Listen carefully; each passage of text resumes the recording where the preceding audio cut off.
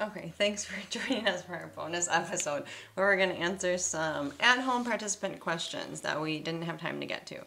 So, the first one is uh, Who is the angel of the Lord? And the person went on to say, I have been looking up Christophany versus Theophany. So, I don't know, these are big words. I didn't know what they meant, so I had to look them up. Um, and she just went on to say, uh, I'm a little confused. So, this is what I found, and you'd be proud of me. Even check the WELS website in their Q and A. I am proud of you for that. Yes. There was no Q and A, so they had no information. But Oh, what- take it back then. so Christophany, just I think you can correct me if I'm wrong, is a word that means the appearance of Christ, like a pre-incarnate Christ before his time on earth. And then theophany would be an appearance of God to a person in a tangible way. So in, in examples that they gave for theophany would be like the burning bush that appeared to Moses or the pillar of cloud and fire um, leading the Israelites out of Egypt. Um, Ezekiel seeing God in his chariot. And they also use the example of the two angels that we just talked about coming to Abram and Lot. They said that was two angels with God. And that one I was confused on because I don't know why that would be God versus Jesus. So uh, Christophany would be the appearance of Christ, like I said. And the examples they used for that were, like we already talked about, Melchizedek. Um, in Joshua, it talks about the commander of the army of the Lord. And I actually have that one. I'm going to read it real quick. Says, When Joshua was near the town of Jericho, he looked up and saw a man standing in front of him with a sword in hand. Joshua went up to him and demanded, Are you friend or foe? Neither one, he replied, I am the commander of the Lord's army. At this time, Joshua fell to his face, fell with his face to the ground in reverence. I am at your command, he said. What do you want your servant to do? So they were using that as an example of the pre incarnate Christ. And, but there were a few I was kind of confused on. So, for example, why would that be God versus Jesus talking with Abram and Lot? And also, an example they used for Christophany. So, pre incarnate Christ was actually the person walking in the garden with Adam and Eve. They said because it's very clear that Jesus had a hand in uh, the creation, that that was more likely to be him. And then it said some Bible commentators will say any mention of angel of the Lord is um, is the pre-incarnate Christ. So they didn't really seem to distinguish. So thoughts. Yeah. So the simple meaning of it would be uh, like an epiphany is like a an awareness of something that is now made is now shown to you. Um, so um, the phany, like theophany, is the appearance of God. Christophany would be the appearance of Christ, or the second person of the Trinity. The short, the shorter answer to it is like we don't know, and that, that's not the sum total of what we can say. But anybody who is a little too confident that they know exactly what is Who is who. who is who and when, like this is the second person of the Trinity, not the first person of the Trinity. Or uh, like it just uh, like a lot of really good Bible scholars have debated some of these for a long time. There- do do we know that God makes appearances in the Old Testament very clearly? Mm-hmm. Do we suspect that uh, very clearly they are, they are also the second person of the Trinity at times? Can we pinpoint what all those the times? exact so times? Do, do you have like any examples where okay, this is very clear. This would be the pre-incarnate Christ. The examples that were given that you just read What off about- are generally the ones that are. Oh, in the garden. That one uh, I haven't heard as often as a Christophany. The like so in, in John chapter one, in the beginning was the Word, and the Word was with God, and the Word was God. He was with God in the beginning. Uh, it talks about elsewhere in the New Testament. It talks about all things are created through Him. So we know that. Even though I think simplistically we oftentimes just think of the Father as like, oh, that's the Creator. Um, in fact, I I'm, I could be wrong. I think that uh, even in my my catechism growing up, I think in parentheses they had put like uh, Father on the Yes. first person of the Trinity, Creator Making statements. and I just, you know, the the more I look at it, I'm like, well, separating the work of the three persons of the Trinity is sometimes very difficult. In fact, about the only thing that I can say, yes, I know for sure that this is this person of the Trinity Mm-hmm. is Jesus dying on the cross. oh, And like, so you won't, you wouldn't say the Spirit not died the on the cross, and you wouldn't Christ, say the. Father died on the cross. So when you're That's talking the- about pre-incarnate Christ, it gets that's that the much incarnate. that's the incarnate. No, my point though is separating even once he's incarnate, separating the work of the Trinity becomes Yeah, is challenging. true. Mm-hmm. So when you're talking about pre-incarnate, uh, separating the work of the Trinity is. Uh, oh, I never thought difficult. about that. It might not be one or the other. It's somehow both. Here's here's the thing. I, I think it probably is this. There is a distinction here. Okay. I don't know that we can fully answer what that distinction. What about in the lion's den? That's one I've always heard as this was The Jesus, the Christ, yeah. pre-incarnate Christ. Yeah, uh, in part because it says, "Look, there is one like the Son of Man." Oh, Who's in that's there, very clear. and, that's uh, what Jesus called himself. So, and that's a phrase that's used um, in Daniel to talk about the coming Messiah. So, Mm-hmm. Okay. again, can we like totally prove that? No. Does it move the needle in as far as like salvation? I think no. Uh, we know, like, even without knowing about a specific Christophany, you know, like you should know from Scripture in general that the second person of the Trinity is active and mm-hmm. open. I mean, he's, we're told uh, in, in John that he's active in the creation work. So he's active in all of the Old Testament history up until the time he becomes incarnate. Mm-hmm. Which are the specific first person of the Trinity versus second person of the Trinity is difficult to, to nail down. Mm-hmm. All right. So the second one, um, we talked about how Abram won't deal with Hagar and won't take step up and take leadership or responsibility in that way, and Sarah steps in, which leads to um, like a breaking of a relationship, and it's just ultimately the point was when men won't take a spiritual leadership role and women try to usurp that role it doesn't usually end well. So the question was how do we reconcile that with deborah in judges 4 there appeared to be no male leaders and she steps in and there are good consequences. Was that an appropriate action? Yeah, so Deborah is a prophetess, which also is maybe blows some minds if you have a very like um, hyper conservative perception of gender roles, like that we have prophetesses, uh, plural, both Old Testament, New Testament.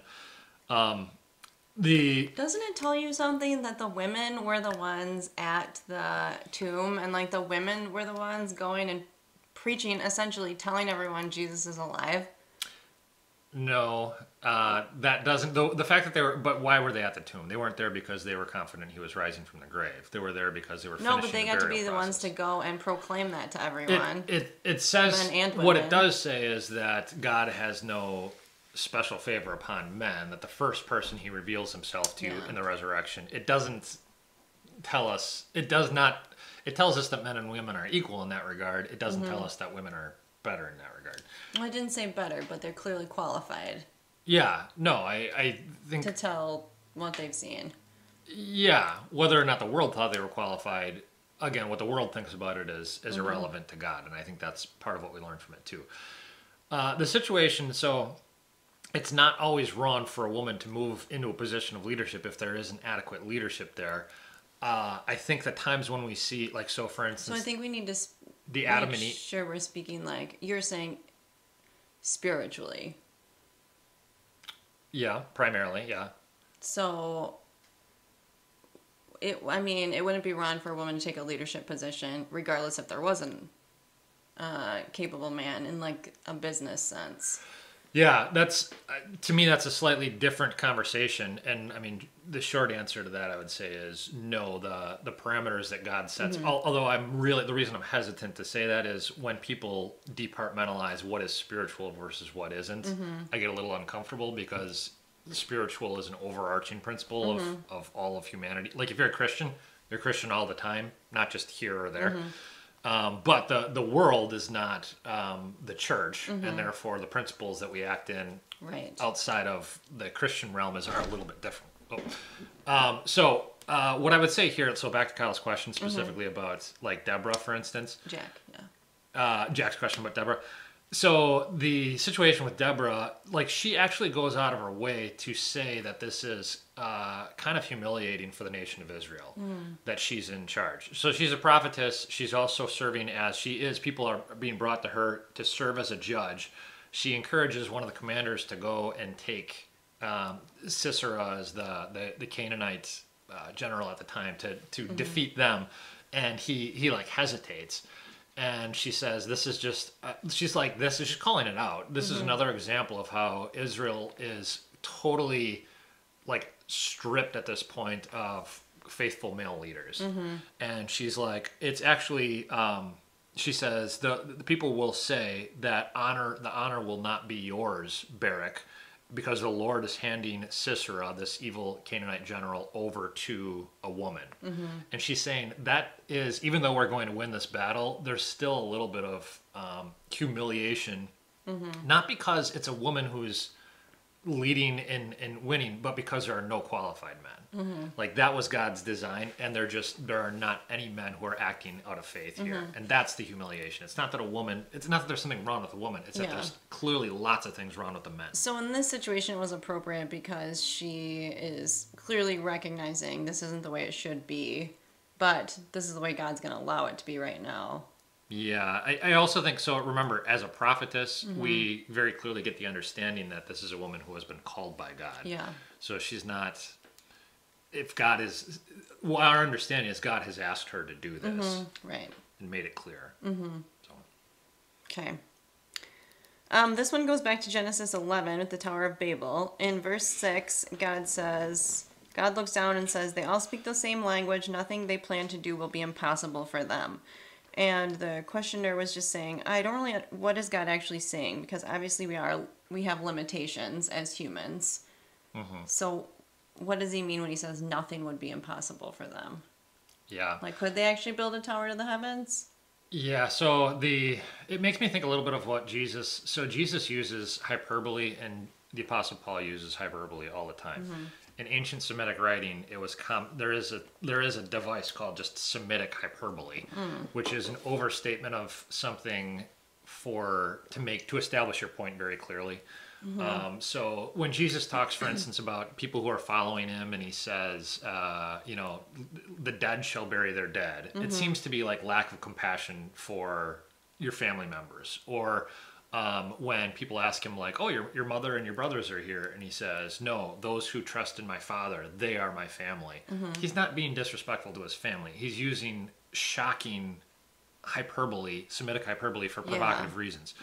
So the Lord is not saying humans are going to like do anything in the sense of like the things that God Himself can do. Uh, humans are not going to start, you know, flapping their wings and flying, you know, that kind of thing.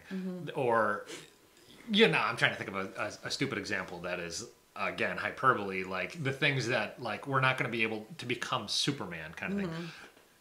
The flip side of this, however, is um, so. In other words, humans do have limitations. The flip side of it, though, is the the limitations for humans aren't nearly as they're not as limited as what we think they are right now. So there's a great uh, a quote that I've used a number of times by Arthur C. Clarke, who was a British um, science fiction writer in the 20th century, and his it goes something like I always get it a little bit wrong, but it's something like any sufficiently advanced technology is indistinguishable from magic. Any sufficiently advanced technology Yeah. is I indistinguishable don't know how from the magic. internet works. So, like, yeah, hundred years ago, if you would have showed people what we're doing, like what we're doing right now, uh, via you know some microphones and a phone and the internet and stuff like that, they would say that's some kind of magic. You know, that's like, or is that you know the the angels and demons kind of thing? Well, it's sufficiently advanced technology and it's indiscernible from magic. And the, the point is, humans are capable of incredible things mm-hmm. because by God's design, they're capable of incredible things. They're lower than God. Well, how do you take someone's organ and put it into someone else and it functions? Right. You know, like that was unthinkable. Um, yeah, any modern medicine I think mm-hmm. falls in that category. The, point is, we're we're always lower than God, mm-hmm. and God is not suggesting they're capable of becoming exactly Yeah. like me in that way. But we're always capable of more than what we immediately think right now. so. The answer is God's being sarcastic. Uh, I would use the term Semitic hyperbole, but so I don't think sar- sarcasm. I don't think he's like mocking them. I think he's saying like, oh, they're they're capable of a lot, and they're because the issue with the people of Babel is they're they're proud, Right? Yeah. uh, and so if I just continue, they're going to continue advancing. They've already advanced quite a bit. They're only going to get more proud, and what they spiritually need is to become humbled at this point. Yeah. So he's like, I'm not going to let them continue to go on like this. Okay. Fourth question. Um, in one of the chapters, we talked about. Oh, oh yeah, because I thought it was a little strange that Abram blessed Melchizedek, and I said, well, if it was, it actually was God or one of the persons of the Trinity, is that strange to say like you would bless God? And then you brought up the example. Well, we sing that song, "Bless the Lord, O my soul," Yep. and um, that a blessing. Our understanding of the term is maybe not appropriate, so maybe you could just expound on that. It's like, Yeah. what does it mean? So modern English people, English speaking people have come to interpret bless simply as like good things that you receive from God. That's not what so the the Hebrew word barak uh, means to bless, and basically what it what it literally means is to speak words invoking divine favor. And uh, so essentially, when we say, like, so a good example of this in the Bible would be Psalm 103. Both at the beginning, it ends, begins and ends uh, the psalm with the, the statement, Bless the Lord, O my soul. And essentially means speak well of uh, the greatness of something and invoke uh, divine goodness upon something. And so, um, in other words, God can bless us by his own power and by his own authority he can speak well of us in a way that brings goodness to us. Mm-hmm. That's how we've come to understand blessing, not so much of him. Yeah. We, we think blessing is just like, oh, I got good stuff. When in reality, Hashtag blessed. there it is. And, but in reality, what the blessing part of it is actually God speaking favor Mm-hmm. over us. And we receive bless, we receive good things as a result of that. But the blessing is actually God speaking and his words of divine goodness to us um, that translates into sometimes like material and and health good things and stuff like that. It's also possible that anyone can speak blessing upon another another human being. It's part of the reason that um, uh, you know people I think uh, people who are not familiar with like liturgical worship will find like the blessing at the end of the service. And they actually see it as almost kind of inappropriate. Like who are you for instance as a pastor to speak blessing upon the rest of us? Well it's it's not that i'm generating a blessing i am asking god to to uh, speak favorably towards you. Use these words as um, equivalent to your words to bring goodness into the life of somebody else. So, with that understanding, to speak well, uh, that it brings goodness for someone else, it's entirely possible that a human can speak well of God and glorify His name and lift up His name and bring goodness to His name. Uh, again, the reason people misunderstand it, and I, I double checked a couple translations uh, on this, and a lot of English translations have changed what that that Hebrew word barak when humans are speaking it to say praise, not bless um, because they know that most English speaking people have trouble reconciling the idea of a human blessing God.